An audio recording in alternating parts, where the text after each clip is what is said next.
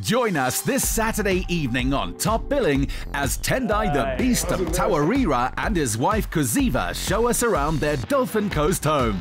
We're on the red carpet at New York Fashion Week for a collection inspired by the all-African superhero movie Black Panther. And popular 7de Laan star David Rees celebrates his 50th birthday with a grand surprise.